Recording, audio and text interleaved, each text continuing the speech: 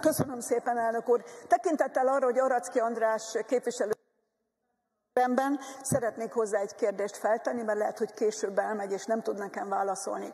Ön arról beszélt a hozzászólásában, hogy aki klímavészhelyzet kihirdetését akarja, erről beszél, az egy ilyen neoliberális, neoliberális megközelítésű, és gyakorlatilag politikai hasznot akar magának. Én múlt évben ott voltam a szeptember 23-ai klímacsúcson, amelyet az ENSZ főtitkár azért hívott össze, mert hogy klímavészhelyzetet akart kihirdetni, és azt mondta, és azt mondta, hogy vége a szép szavaknak, cselekvésre van szükség. Ugyanezen a klímacsúcsra Ferenc pápa üzenetet küldött, és a Szent Atya arról beszélt, hogy baj van, nagyon nagy baj van, a klímaválság gyorsul, és igen, klímavészhelyzetet kell kihirdetni. Azt szeretném megkérdezni öntől, akkor ön szerint a Szent Atya liberális, baloldali liberális, és vajon politikai hasznot akar-e szerezni. Szeretném tudni ön, mint a KDNP képviselőjét, hogy mit gondol a Szent Atyáról.